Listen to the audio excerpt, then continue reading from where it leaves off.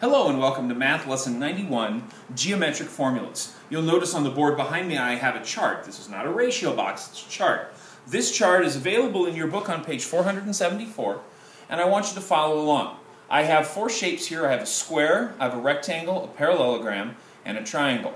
We're going to write down the formulas for the perimeter of each of these, and then for the area of each of these. We'll start with the square first. So, on a square, all four sides are identical. The area, or the perimeter of it, is 4s. In this case, s is equal to side.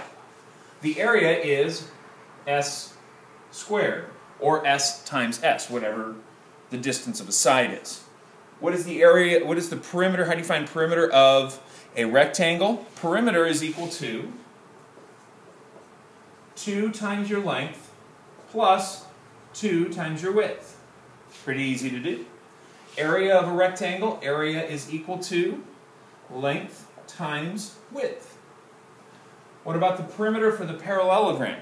The perimeter for the parallelogram is a little bit different.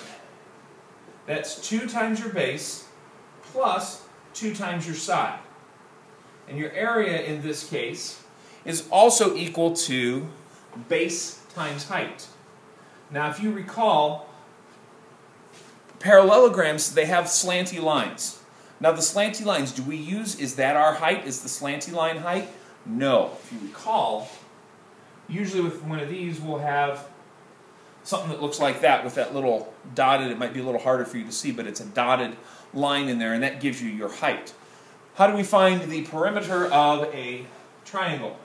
It's S1 plus S2 plus S3, different sides. You can't multiply one side length unless it's a perfectly identical side triangle. Right triangles aren't that way, isosceles are, but right are not. How do we find the area of the triangle? Area is equal to 1 half base times height. And there is lesson 91. I mean, it's just here's the formulas, do the math. Have a great day.